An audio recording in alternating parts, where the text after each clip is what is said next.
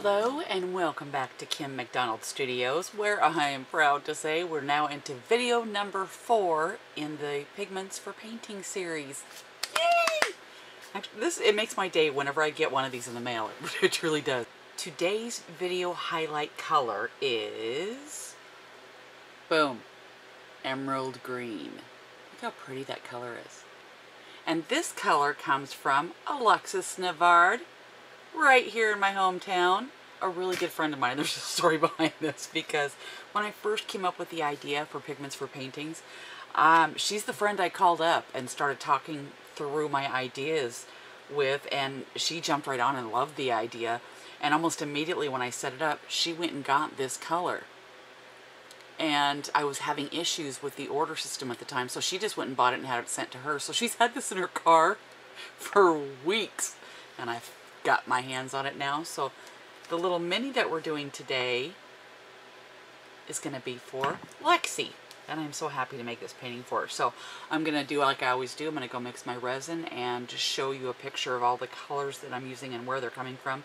The first layer is going to be, you know, basically the clear and uh, color tinted that I use in the, the same method as in the last video. It's going to be a two-layered piece and start out basically coloring over the top of this prep surface and then once that's cured I'm going to be using the Rezin Arte pigments here. So if you truly are interested in what colors I am using here, here you go.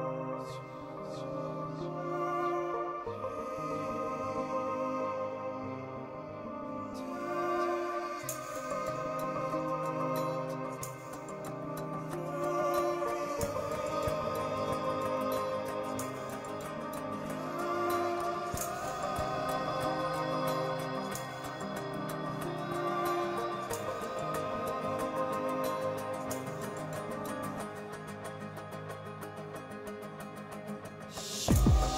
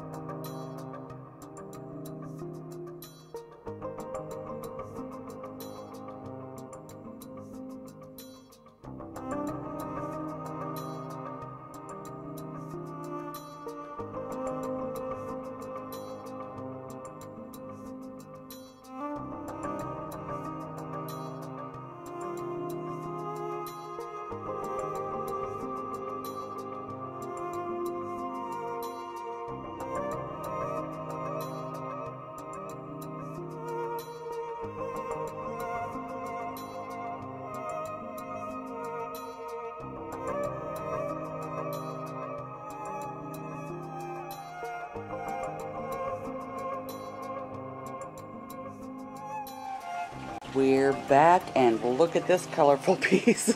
it's kind of blowing me away. It really, really, really is. Look at that piece right there.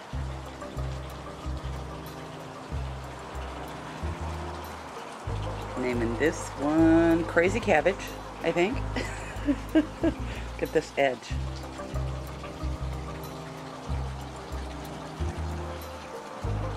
Oh, that was so much fun. But we have to reveal the mini. Whoop. Alexis, here's your mini. I hope you love it as much as I do. It is really more, way more colorful than I thought I would end up doing, but I like it. There's some really neat parts in that. See that really glittery part? That is the pistachio mixed with a little bit of the FW Inks, uh, that marine blue over the top of it. And it just went all crazy like that. Pistachio. Yeah, it's crazy. There's a really pretty piece right there. So, there you go. Series video number four in Pigments for Paintings. And don't forget, there's a lot of colors left. If you want to get involved and get your own mini like that, all you have to do is go to my website at kimmcdonaldstudios.com and it explains how this works. It's basically a trade. You send me a pigment, I send you a painting. And I have a lot of fun doing it too. Thank you for your support. Thank you for getting this far. Thank you for liking the video if you've done so. And uh, if you haven't subscribed and you want to get notifications when my new videos come out, that's easy. Just subscribe and hit the bell next to it and you'll get a notification whenever I pop a new one on to YouTube.